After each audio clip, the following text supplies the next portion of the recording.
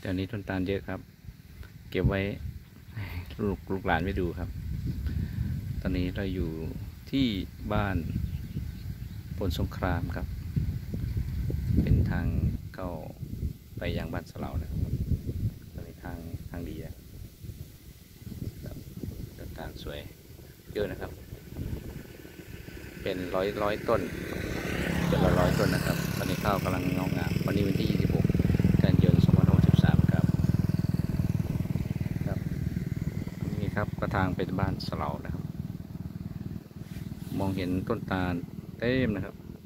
นะครับ ถ้าตัดจริงคงจะเสียดายแย่นะครับนะครับ เป็นต้นตาลสวยต้นตาลสวยครับเต็มครับบริเวณนี้มองเห็นต้นตาลสับหวานไปเรื่อยๆนะครับ ตรงนี้ชุ่มหน่อยครับ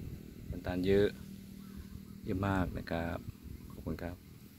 อันนี้ก็ไปทางเอ่อสถานีรถไฟพุทธงคามทางขวามือครับ